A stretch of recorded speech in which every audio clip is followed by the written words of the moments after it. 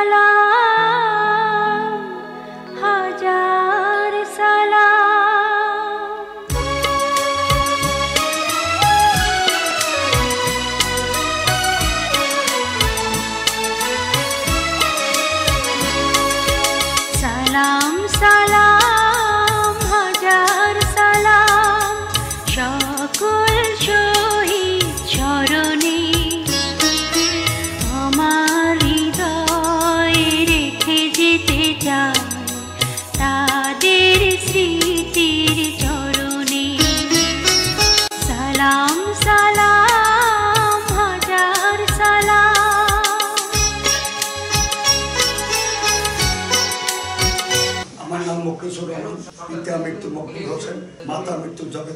গ্রাম মহাবাস উপজেলা পরিষদ আমি উনিশশো একাত্তর সালে ছাত্র ছিলাম।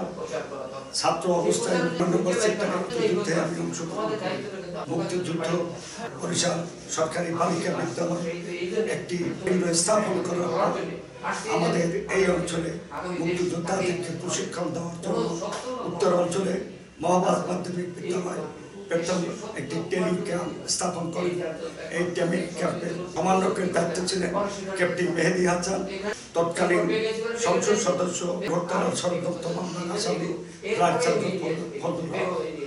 ওই সময় প্রশিক্ষণ করতে হাওলাদার পঞ্চমালীর নেতৃত্বে এই মহাবাস মাধ্যমিক বিদ্যালয়ে বিভিন্ন ছাত্র ছাত্রদেরকে, বিভিন্ন কৃষক সংগঠকের যারা মুক্তিযুদ্ধে অংশগ্রহণ করেছে তাদেরকে প্রশিক্ষণ দেওয়া। প্রশিক্ষণ চলাকালীন অবস্থায় উনিশশো একাত্তর সালে পঁচিশে এপ্রিল পাক হানাদার বাহিনী বরিশাল আক্রমণ করে। মুক্তিযোদ্ধারা প্রশিক্ষণ অবস্থায় তালতলি এবং ঝুরাহার অঞ্চলে মুক্তিযোদ্ধাদের বাংকার ছিল।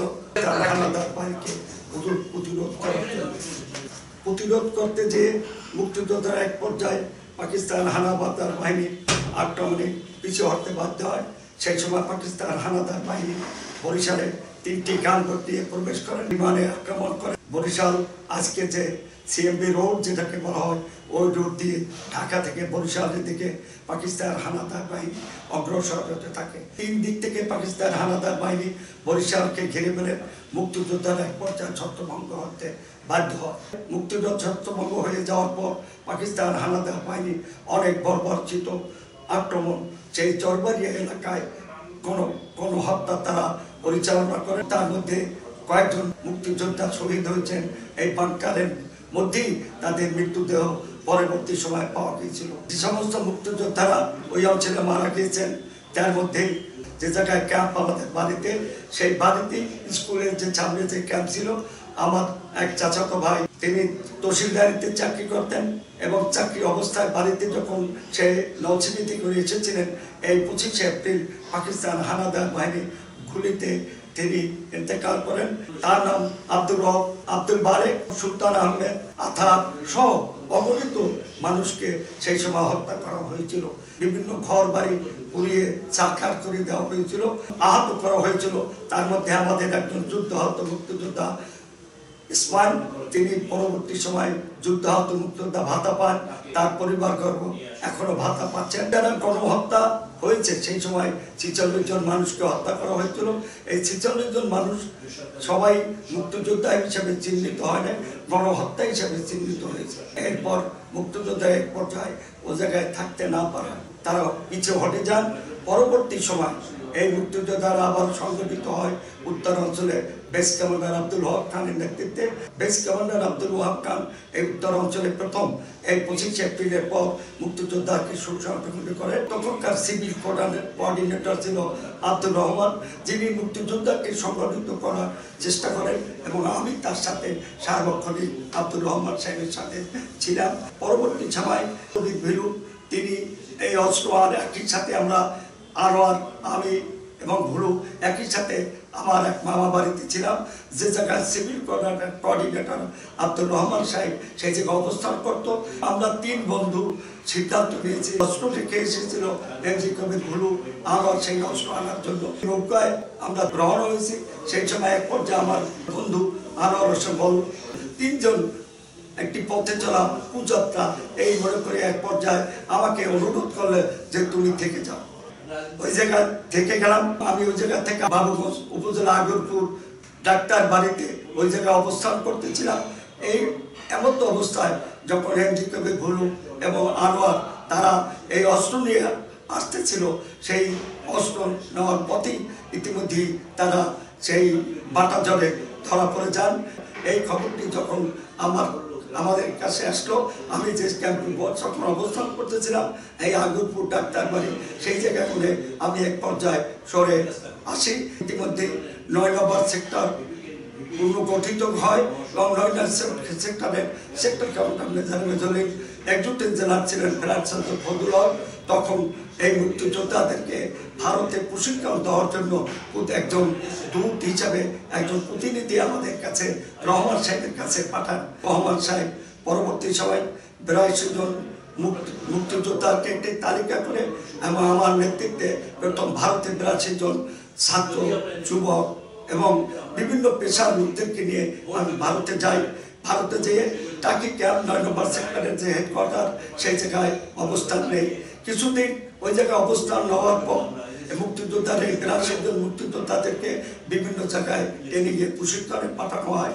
তো নয় নম্বর সেক্টরের চুটেন জেনারেল জেনারেল ছিলেন আগরতলা ষড়যন্ত্র মামলার আসামি ফেরারচন্দ্র ফজল হক, তিনি আমার তৎকালীন এমপি ছিলেন তিনি আমার মামা ছিলেন।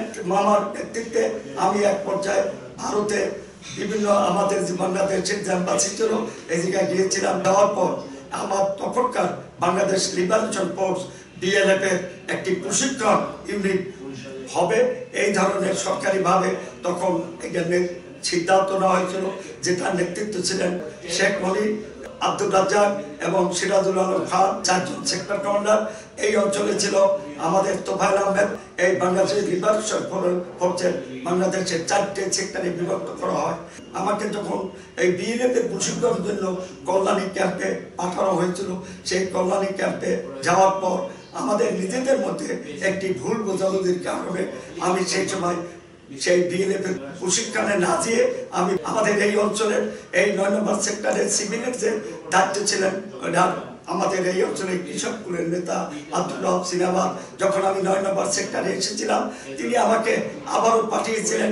যারা বিএনএফ এর দায়িত্ব ছিলেন, আমাদের এই অঞ্চলের নেতা আমির হোসেন আমু তাদের সেই ইন্ডিয়ার কলা বাগানে আমি গিয়েছিলাম।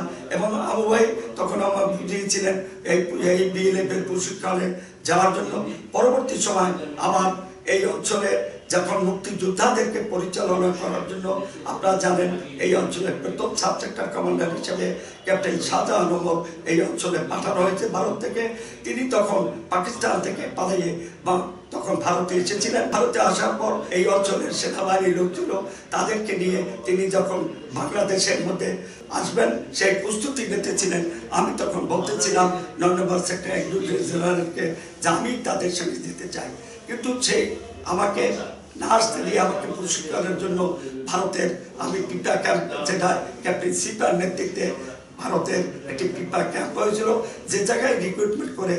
প্রশিক্ষণে বিভিন্ন জায়গায় বিভিন্ন পাঠানো হতো। আমাকে সেই সময় আমার সেই একচুটের জেলার সাহেব আমার সঙ্গে আরও কিছু মুক্তিযোদ্ধাকে দিয়ে সেই পিপা ক্যাম্পে পাঠিয়ে দেন এবং পিপা ক্যাম্পে পাঠানোর পর আমি ভারতের বিহারে চাকুরিয়াতে প্রথম প্রশিক্ষণ গ্রহণ করি। একুশ দিন সেই জায়গায় প্রশিক্ষণ গ্রহণ করে বিভিন্ন অস্ত্র প্রশিক্ষণ আমরা নেই সমস্ত এলএনজি হইতে আরম্ভ করিয়া টুরিস মোটর মোটর সহ বিভিন্ন অস্ত্র আমরা সেই জায়গায় গেরিলা যুদ্ধের যত প্রকার প্রশিক্ষণ ছিল। ভারতীয় সেনাবাহিনীর লোকরা আমাদেরকে সেই ধরনের প্রশিক্ষণ দিয়েছিলেন। প্রশিক্ষণের পরে আমি আমাদের যে ক্যাম্প, যে ক্যাম্পে আবার ফিরে আসি, অপারেশন ক্যাম্পে, সেই সময় আমার এই জায়গার চা- ছিলেন। আমাদের ওই সাতক্ষীরা অঞ্চলে থাকতে ছিলেন আমাদের sub sector commander captain Mahfuz Alam Beg captain Masud Alam বেগের সঙ্গে আমি আসছে যোগদান করি। লেফটেন্যান্ট তোফাজুল হক, সেই সময় আমাদের একজন লেফটেন্যান্ট ছিলেন এবং দায়িত্বে ছিলেন আমাদেরকে তার যুদ্ধ পরিচালনা করার জন্য। সেই ক্যাপ্টেন মাহফুজ আলম বেগ এমন একজন যোদ্ধা ছিলেন যিনি তার কর্মের মধ্যে দিয়ে মুক্তিযোদ্ধাদেরকে এত সাহস উদ্দীপনা দেখিয়েছিলেন, যা ভাষা প্রকাশ করার মতো নয়।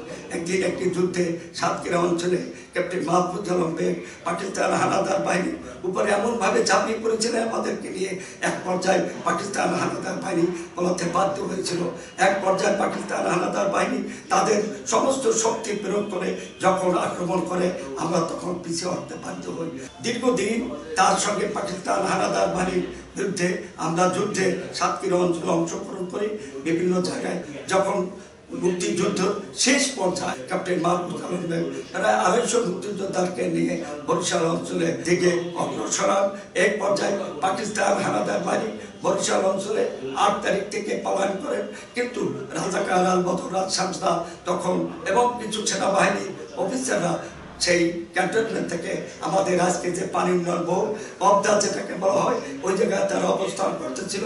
গৌনদীতে কিছু পাকিস্তান হারাদার বাইরে অবস্থান করতেছিল।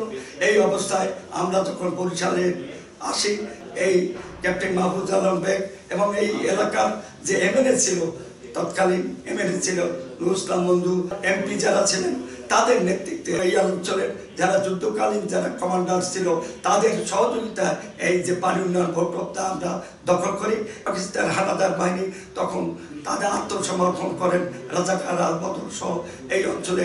আমরা মূলত আঠারো তারিখ বরিশাল, ষোলো তারিখের পরে ষোলোই ডিসেম্বর একচুয়ালি বাংলাদেশের চূড়ান্ত বিজয় হয়েছে, বরিশালও আট হয়েছে, কিন্তু কিছু কিছু জায়গায় পাকিস্তান হানাদার বাহিনী রাজাকাররা অবস্থান নেওয়ার কারণে শেষ চূড়ান্ত এই অঞ্চলে আমাদের বিজয় হয়েছে।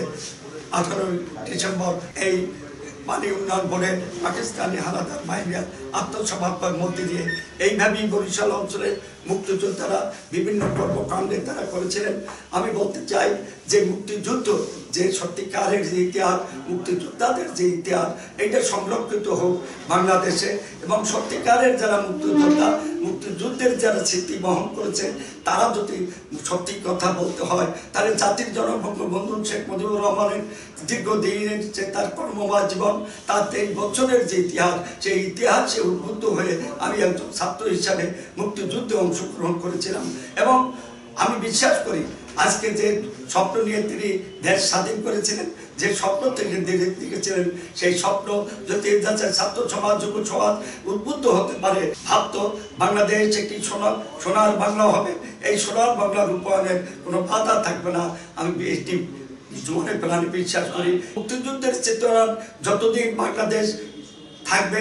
আমার বিশ্বাস বাংলাদেশ একদিন বিশ্বের অন্যতম একটি দেশ হিসাবে প্রতিষ্ঠিত হবে, এই বিশ্বাস আমি করি। এবং বর্তমান সরকার যে কর্মকাণ্ডগুলো করেছেন, মুক্তিযুদ্ধের উপরে যে কর্মকাণ্ড করেছেন, এই জন্য ছাত্র সমাজের মধ্যে, যুব সমাজের মধ্যে ছড়িয়ে দিতে হবে। ছড়িয়ে দিতে পারলে যুগ যুগ ধরে মুক্তিযুদ্ধের এই স্মৃতি বহন হবে, এই বিশ্বাস আমি করি।